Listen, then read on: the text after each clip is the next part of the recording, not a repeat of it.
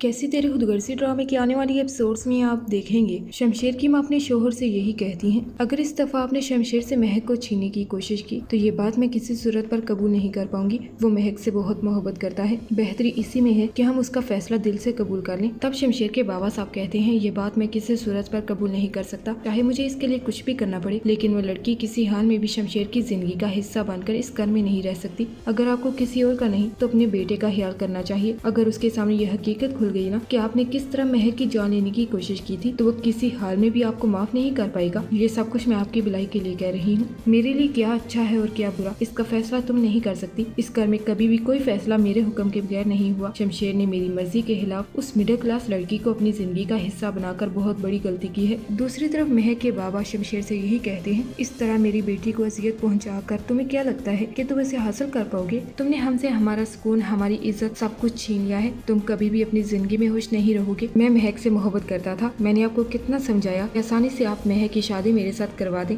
लेकिन महक ज़िंदा होने के बावजूद मुझसे छुपती फिरती रही। आने वाली एपिसोड्स काफ़ी ज़्यादा इंटरेस्टिंग होने जा रही हैं।